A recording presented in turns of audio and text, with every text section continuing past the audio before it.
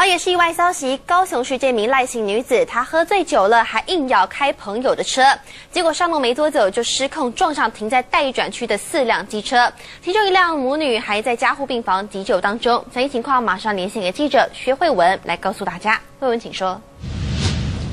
好的，各位观众，在画面上我们可以看到有一辆黑色的百万轿车，它是整辆车呢冲到了人行道上，而且地面上呢还有一道长长的刹车痕迹，而路旁的这个水泥阻车柱也整个被撞断了连根拔起，路旁呢还有四辆机车是整个横倒在地板上的，而轿车底下呢还卡着一辆机车，原来呢肇事的就是画面上这名留着长头发的赖姓女子，当时呢她的酒测值高达了一点二四，先来听一段。稍早的访问，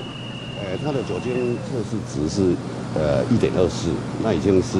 呃迷醉麻木。当然，我们带到啊 派出所来了以后啊，啊有一些争吵啊在所难免，所以我们夜间就不做讯问，先啊把他呃留置，啊等到隔天以后他情绪就好一点。